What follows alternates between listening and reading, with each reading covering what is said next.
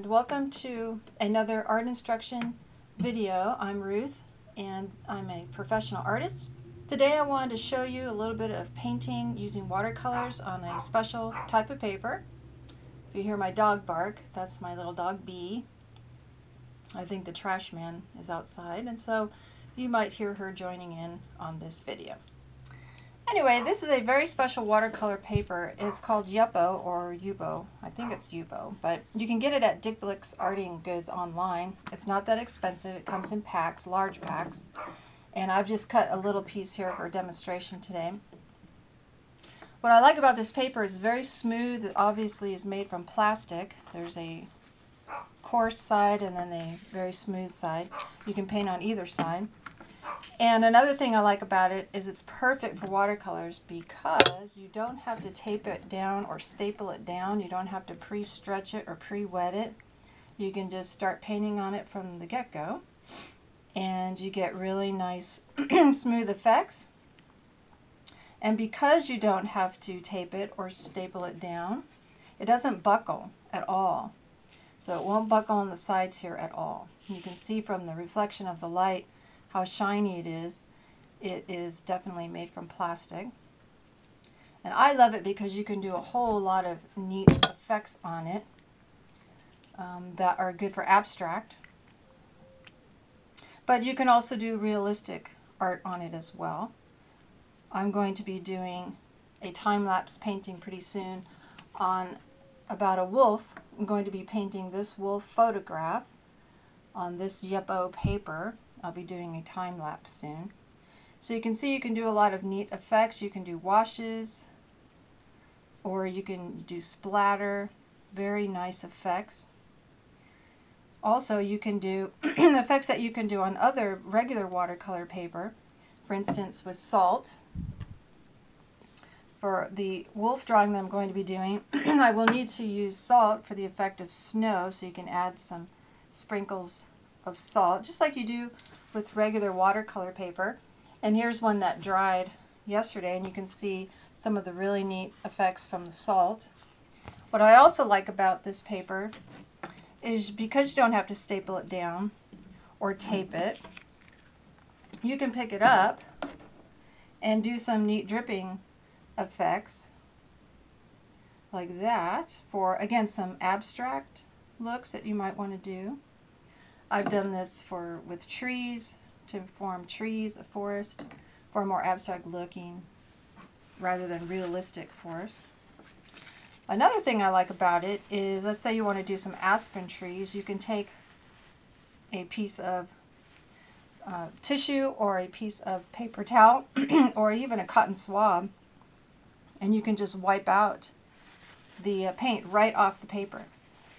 So you can from there do an aspen tree or whatever effects that you need to do just with the swipe of a paper towel.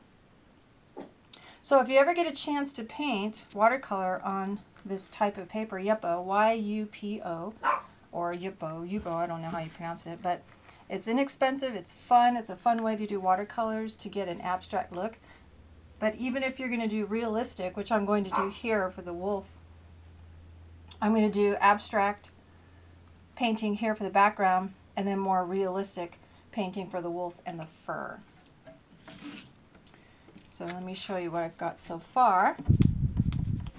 So I've pre-sketched the wolf here on the drawing board, on the uh, watercolor paper Yupo. I have my palette over here ready to go, just with a few colors for now because later on I'm going to add some more. But just for this demonstration, I thought I'd show you a little bit how I'm going to do the background. so I'm going to have some black and blue to make a nice dark gray color for a wash. What's really neat about this paper, what's very convenient, is you can draw on it and still paint without having to really worry too much about your pencil because you can always go back over it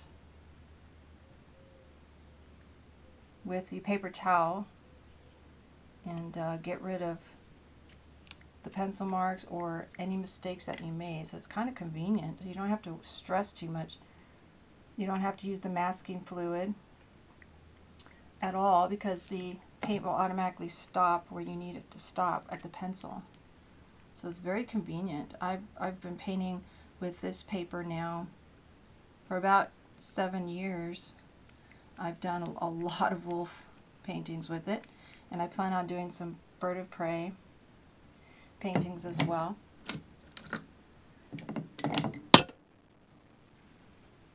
So I'm just getting a wash down, just a very basic, simple wash down first. Nice smooth strokes. And again, what's fun is you can pick your paper up and just let it drip if you want more of that abstract look to it. You can do that.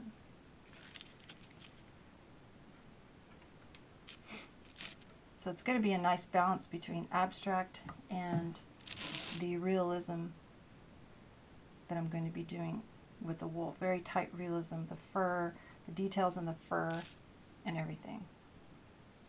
So I kind of want to imply a forest back here, so maybe some strokes of the trees.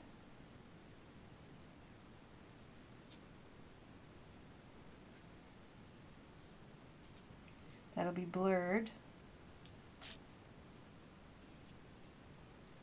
So it'll just be uh, as though a photograph is in the background. And again, see how it's not buckling at all. It'll dry nice and flat, so I don't have to staple it down.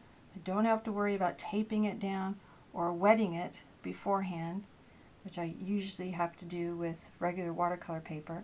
You have to soak it in the bathtub, so that way it won't buckle. But with this paper, nope, you do not have to worry about that. So you might be wondering how it dries. Well, like I did the demonstration yesterday, this one is dry, or it can dry dark. You can go back and scrape it off. This paper is durable, very, very strong. So now I have my background wash, that's called a wash, so I'm going to add a little bit of salt for the snow effects that you will see after it dries tomorrow. I'll do a time-lapse painting tomorrow to show you how I do the wolf. But for now, this is the background. So I wanted a nice background, abstract background like you see here in the photograph here on the Yupo paper. Very quick, very easy. That's why I love it. I hope that you'll give it a try. Again, it's not that expensive. You can find it on Dick Blick Sporting Goods. I'm sorry, Dick Blick Art Supply. I don't know why I keep saying sporting goods.